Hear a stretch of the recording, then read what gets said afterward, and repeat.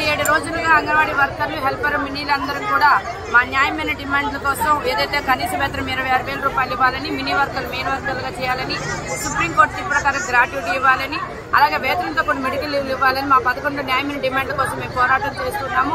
అయినప్పటికీ ఇప్పటికీ కూడా ప్రభుత్వంలో చరణం లేదు ప్రభుత్వంలో చలనం లేదు. ఇప్పటికీ కూడా వేతనాలకు సంబంధించి ఏమైనా స్పష్టత ఇవ్వకుండా జూలైలో పెంచుతామని ఇస్తున్నారు. అయితే జూలైలో నుంచి ఎప్పటి నుంచి ఎంత ఇస్తారు అనేది కూడా మేము అడిగినా కూడా వేతనాలకు సంబంధించిన విషయాన్ని దాటవేస్తున్నారు. ఇది కరెక్ట్ కాదు. పండగ సమయాల్లో కూడా అంగన్వాడీలందరూ రోడ్డు మీద పండుగలు చేసుకుంటున్నారు. లక్షలాది మందికి అంగన్వాడీ మహిళలు ఈ రోజు రోడ్డు మీదకి వచ్చారంటే అది ప్రభుత్వానికి అప్రతిష్ట. కాబట్టి వెంటనే ప్రభుత్వం స్పందించాలి.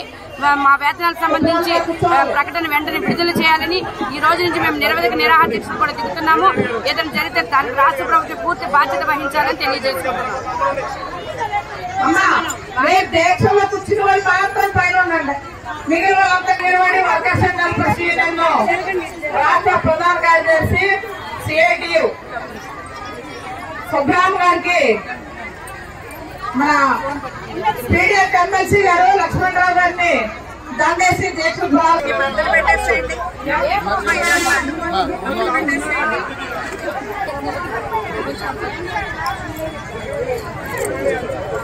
సుబ్రామ్ గారు కూర్చోండి సుబ్రామ్ గారు నేను ఏపీ